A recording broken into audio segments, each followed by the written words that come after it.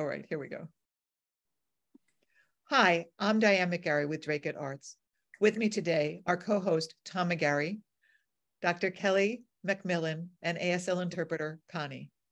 Dr. MacMillan graduated from the Dartmouth Medical School in 1993. She specializes in obstetrics and gynecology and is affiliated with St. Joseph's Hospital in Nashua. Today's discussion was spurred by November Arts Saturday author Judith Dickerman Nilsson and her memoir, Believe in Me, a Teenage Mom's Story, where she talks about finding herself pregnant as a high school student. Our goal is to discuss what someone who doesn't expect to become pregnant can do. What are the resources and support that a pregnant person needs? So let's start right there. Kelly, what health things do pregnant people need? Pregnant people need both health and emotional health uh, supervision. Uh, the majority of these women are scared. Uh, their pregnancies are not necessarily planned.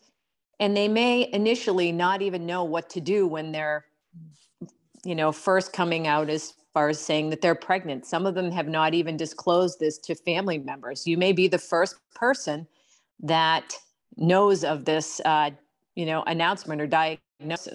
So the first thing that uh, we need to establish is in each individual, what is the situation that they are in? Are they going to be uh, supported?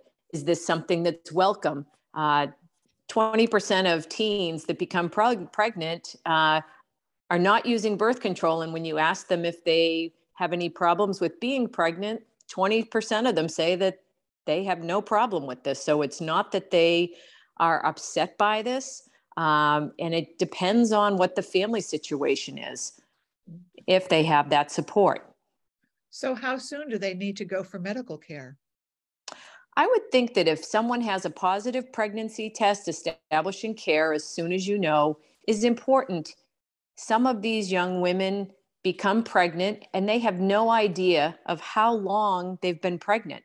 There could be exposures to things along the way that they did not even realize that they were pregnant. So, establishing early on the quote due date is very important. So, what is prenatal care? Prenatal care is a way for us to use uh, time to assess um, the medical and psychological needs of these uh, pregnant people. Uh, we need to be able to evaluate them over the course of the pregnancy, which may be nine months, it may only be three months, depending on how far along someone is. If they come in and they're already seven months pregnant and they did not know, we have all that time we need to catch up on wow. educating them and and making sure that they know what to expect going forward because not everybody's periods are regular either right? So it's very easy for someone to slip through the cracks. Exactly. So initially when we uh, meet with um, someone we hope that there's someone there with them to provide support. We generally do a full physical uh, history uh, discuss medical history and family history as how it may pertain to them during pregnancy and also use it as a as a sort of a launch pad for sort of discussing health in general because there were things that happened during pregnancy that may continue beyond the pregnancy uh, that require ongoing you know care so what are some of those issues that might come up uh, there can be uh, things like diabetes. Uh, there can be a higher chance of developing hypertension towards the end of pregnancy, even in someone who is young. Uh, there may be undiagnosed mental illness uh, that may be exacerbated by pregnancy. So when we think about pregnant people, it is there are some conditions that may develop in pregnancy. There may be some that get worse during pregnancy. And if women are only coming to the doctor for pregnancy and birth control, we may be the only providers that they see. Yeah. And this tends to go on through many years, through the re- reproductive years. So, one of the things I know from my own pregnancies was getting um, vitamins and also being told things to avoid, like avoiding alcohol and drugs. Is rehab available? And how do these things affect the pregnancy and the and the bathing and the birthing outcome? So there are some uh, facilities that are available that provide counseling and rehab, and they there's um, a facility in Nashua uh, called Keystone Hall. The they don't tend to take adolescents, but they do have services available for um, pregnant people who uh, are planning on having their baby and being able to stay there after the delivery for ongoing care. Otherwise, there are uh, counseling facilities. Uh, as far as substance abuse in the very young teens, um, I don't think that we've had, at least in our experience in Nashua, um, the degree of needing rehab as we do in some of the women that are in their 20s and 30s. Uh, but I will say that there is the vaping tends to be the big one, not so much cigarettes and alcohol, but definitely vaping. And we try to use the pregnancy as a way to encourage someone to uh, avoid all substances and make healthy choices. So, so vaping is really not good for you. No, and it's the things that substances can potentially do is it can increase the risk of you having a baby that's uh, smaller than it's supposed to be. Uh, it can increase the, there's been an association uh, with delivering prematurely, and teens in general do have a higher chance of having a preterm delivery. Uh, you know, their bodies sometimes, despite being able to conceive, some of these young women are their bodies are not developed for delivering a baby that you know would go to term. So what do you mean their body isn't developed? They're not ready to give birth? There's a they, there are some um, women that are very small. The pelvis can be somewhat small. If you're 14 or 15 versus someone who is 21 all of the hormonal adaptations in pregnancy allow for your joints to soften to allow the passage of a fetus. But there are times where the young girl is just you know still very small. And i think you know there when we look at modes of delivery um, the c-section rate is not higher uh, but we have noticed that there there can be a higher incidence of needing to do uh, an operative vaginal delivery, be it forceps or a vacuum, because some of it is these um, young women may be scared or they may be sort of on the smaller side. I mean, it's I'm sure it's it's I think quite uh, intimidating to try to give birth the uh, first time at any age, but I think that uh, at age 14 or 15, that's probably even more daunting. Yeah. I mean, I really enjoyed my pregnancies and the experience, but I was also 40 years old. So it's a whole different so, perspective. Yes. I think that the um, the wanting, you know, a planned pregnancy with a supportive partner um, bodes much better than for um, someone who is extremely young. And some of these um, people, you know, there are times where there's a lot of other extraneous factors, boy, you know, father of the baby, involved, not involved may also have someone else pregnant at the same time. There's just a lot of drama that can happen. And I think that some of these young patients, um, sometimes I think that they conceive somewhat intentionally. They would love to have a baby for some unconditional love. Mm-hmm. And they hope that the boyfriend or the father of the baby will be around. And and sometimes that's that's not the case and this is a time where they need to to learn how to be able to cope with mm-hmm. that lack of support and rely on the support of others yeah in judith's book her boyfriend initially was going to be around and then his family said no way we won't support you we'll kick you out so that this type of drama comes up and that causes a lot of stress not only on the the boy who's the father but also on the young woman who's carrying the child. You know, yes. I mean, she ultimately decided to go ahead on her own, but she went on her own unsupported by anyone. And that, yes, uh, that's hard. As, as far as stress is concerned, I often will have patients ask me about how much can stress impact my pregnancy? Is this going to cause something bad to happen? And I think that it's um, it's sort of a, a way to try and teach them how to deal with stress, um, be it biofeedback, counseling, stress reduction techniques, uh, but also, you know, realizing that this is going to be the first of many stressors. Uh, you know, considering you're a teen and you're going to be taking care of a newborn, and there may or may not be someone there to help you. And there are many times where the grandparents of the newborn are very involved because sometimes there is this cycle of if someone's had a baby at a young age, their daughter goes on to have another baby. So it's almost this cycle where these young, these grandparents are only in their 30s or 40s. Hmm. And they can be quite helpful. It's almost like their second chance to, you know, raise a family. Yeah. So that actually gets into postnatal care. And what is that and why is that important? Uh, postnatal care is important uh, for multiple reasons. One is to address ongoing uh, medical uh, concerns that may have come up during the pregnancy, uh, be it sometimes there can be hypertension, diabetes, big time to be evaluating for postpartum depression or mental illness. So, what's postpartum depression?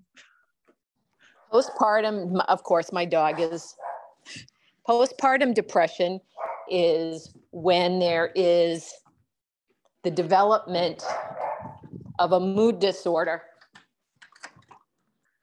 within the first few weeks of pregnancy up until one year of age. And I'm sorry. No, no, that's all right. So you're saying a mood disorder. I'm not sure what that means. It could be depression. It could be manifest as mania. So, the opposite of depression. There are some women uh, that will initially uh, seem withdrawn, depressed, uh, but there are rare times where someone can develop uh, a bipolar exacerbation and become manic. Um, very rarely, there's psychosis. Um, but these are times where you know you need to be uh, you know checking for those things. And the other big part of this is to, to discuss contraception. So I think there's approximately 20 to 25 percent of these women will have another baby within two years. Oh well So, and that's needing, a big toll on your body to do that.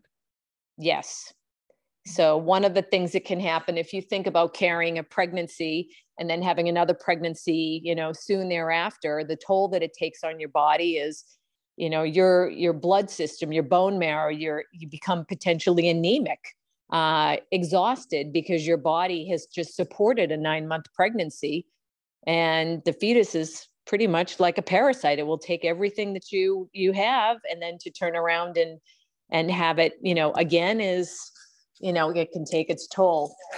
Plus the breastfeeding too, right? If you choose to breastfeed, you're still giving the resources to the baby. So yes, we could talk a little bit um, more about possible complications because people think that all pregnancies are easy and uneventful, but that's not really true, is it? No, it's not. And I think that um, in the last few years with COVID, uh, COVID has made things a little more complicated than they previously were. In the past, we would generally be concerned about diabetes, preterm delivery, um, but COVID 19 has only amplified that, increased preterm delivery risk, increased the hypertensive disorders of pregnancy. So it's, uh, it's just one more layer of adding complexity to a, a potentially otherwise uh, healthy time in someone's life. Uh, I think a lot of people assume that if you're healthy enough to get pregnant, you should be healthy, but your body is not the same, your immune system is not the same. And any illness could potentially be more detrimental than if you were not pregnant. So, can you actually be too young to successfully b- bring a baby to term? Without long-term health effects? Yes, I think that um, the majority of uh, teens that become pregnant. I think there's greater than 65% chance of, you know, success rate with, uh, you know, carrying a, a pregnancy to term. Uh, there, there is a, you know, no chance, no difference in uh, miscarriage rate. So if we're looking at of all these young women who uh, conceive, the miscarriage rate is about 15%, which is consistent with most age groups. Uh, approximately, I think, a quarter tend to um, not continue the pregnancy. And the remainder, you know, 60 to 70% will go on to have a healthy pregnancy. But that also can be deceptive in a way when we talk about miscarriages. Because, for instance, I was talking with my daughter, uh, my sister-in-law, over this summer, and I knew that she'd miscarried in her early 20s. But she said when she looked at her health record, she was surprised to see that it was listed as an abortion. She did not know that that term was there. So, what is the difference in the usage of these two terms? Unfortunately, uh, there's medical terminology uh, and with electronic medical records, there it's it's similar to if you're in the computer and you're trying to look something up. If you're even off by one letter, it's difficult to find something you're searching for. Oh gosh. With medical, you know, the medical diagnosis of a miscarriage is a spontaneous abortion, but it does show up as a in, a in a medical terminology as an abortion. So there's a spontaneous abortion is a miscarriage. Uh, an incomplete abortion would be if someone had become pregnant and they were bleeding, but their body hadn't completely recognized that something was wrong and they did not completely pass all of the tissue. And if there were a fetus, it didn't pass the, the fetus. There's another condition where it's called a missed miscarriage or a missed abortion. And that means that you're technically pregnant and the baby started to develop or the fetus started to develop, but there was no heartbeat. So mm-hmm. all of these things are termed some form of an abortion, but it's not an elective abortion. And I think that it's awful when someone has had a pregnancy loss, especially if it's a much wanted pregnancy, to then see that word abortion show up in their medical record or in a billing statement because they sought medical attention. It's a slap in the face and it's awful. It, it also has legal ramifications now too, doesn't it? I mean, because I mean, in my daughter, my sister-in-law's case, the fetus had died and she needed a D&C. So, um, which is one of the cases you're talking about. But yes, the baby was wanted, but and then we actually need to define what fetus and baby mean because those are two different terms that we tend to use interchangeably, but they're very different and they have very different emotional ramifications for people. Yeah, so up until about eight weeks, uh, from the last menstrual period, we, we tend to say, is that the embryonic or the embryo stage? And then from that point onward to delivery is, you know, the technical term would generally be called the fetus. And once the fetus is born, uh, it's considered the baby. But I think in most, the lay population, most people will say, you know, this is my baby. And I don't know how often the, the general population would refer to this being that's growing inside them as the fetus. Mm. So, but there are lots of complications that can happen, right? So, in a way, it's it's a good protectivism for ourselves to be able to discern that there's a, a very clear difference because fetuses um well we're getting better so we can life support further into younger weeks but they're really not quality. live on their own. They're not viable on their own. Correct. In the past, uh, in European countries, 28 weeks or seven months out of a 10 month pregnancy was felt to be what the Europeans would call uh, a miscarriage. So in, in the United States, uh, anything prior to 20 weeks gestation, or what we would call approximately five months, is considered a miscarriage. Uh, in Europe, they used to extend that up to about 27 weeks. Wow. So once you start the third trimester, if you lost a pregnancy at 25 weeks, it would be considered a miscarriage.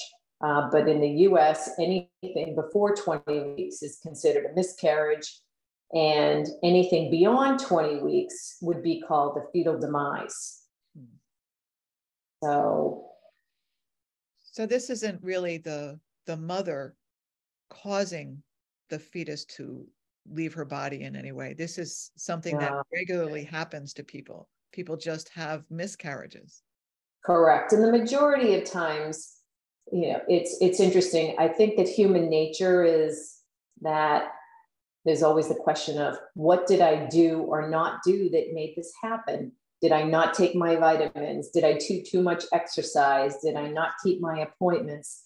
But I always, in any situation, I try to uh, encourage the patient, no matter what they're doing, try to do some, you know, make give them some positive feedback, um, but to always say there's nothing that you could have done uh, to prevent this. The guilt of itself, um, I think that if if it's a um, a young teen uh, and is losing a pregnancy, um, they may not be in the best situation even prior to conceiving, and this is something that they become pregnant. I'm healthy enough to become pregnant. I'm normal. And then to lose a pregnancy, there's this my body has failed me.